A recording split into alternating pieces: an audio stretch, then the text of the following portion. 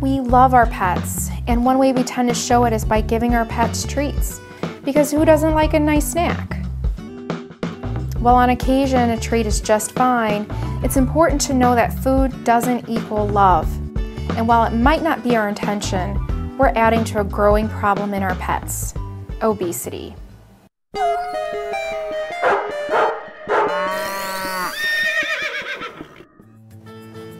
Having your pet at a healthy weight reduces their risk of disease and injury and contributes to a better quality and longer life. But how do you know if your pet's weight is healthy? A healthy weight isn't simply a number on a scale. It's about healthy body composition. Working with your veterinarian, make an honest assessment of your pet's health and weight. Focus on what matters your pet's good health and long life. It's not about you, it's about your pet's health. Keeping your pet at a healthy weight lowers their risk of diabetes, high blood pressure, respiratory disease, kidney disease, and certain forms of cancer. Now, the big question is, how do I get my pet slim and trim? It's probably no surprise, but there's no one size fits all approach or magic remedy to help your pet shed excess pounds. What works for one pet doesn't necessarily work for another. But to put it simply, weight loss involves reducing your pet's caloric intake and increasing their activity level to burn more calories.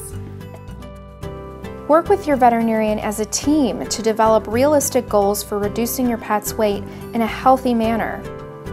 It may help to slow your pet's food consumption by using a special bowl or food puzzle that makes it harder for them to gulp their food. But be careful to keep the total daily amount of food within an acceptable amount. Consult with your veterinarian about the best food choice for your pet's condition. The recommended feeding amount printed on the pet food label might not be appropriate for your pet. Eliminate table scraps and fattening high calorie treats and don't give in to the sad, begging eyes. Like I said before, a lot of times the problem of obesity comes from us just wanting to show our pets love. And well, there are many better ways than food and treats to show your pet you love them, such as quality time and play. What your pet wants most, more than food or treats, is your attention, interaction, and affection.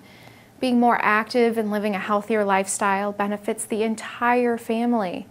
Find activities you enjoy that include your pet, and the journey will be more enjoyable for all of you. Whenever your pet begs or cries for food, try taking them for a walk or playing with them. Positive rewards of praise, petting, and play are crucial components of a healthy relationship and lifestyle. The best play for your dog is a brisk walk. 15 to 30 minutes per day is adequate for most. Bigger or more active breeds may require up to an hour or more of vigorous activity per day to remain healthy and mentally sharp. Cats like to hunt and chase, so try hiding their food or moving it further away from their sleeping area. Engage your cat with appropriate and safe cat toys like paper bags, flashlights, balls, or feather toys. Experiment with toys and understand that what your cat finds interesting to play with today may be boring tomorrow. We love our pets and we want them to be as happy as can be and to really feel that they're loved. So what do we do? We give them treats, we feed them from the table, and sometimes we might even go so far as letting them lick our plate. But the quickest way to our pet's heart isn't through food.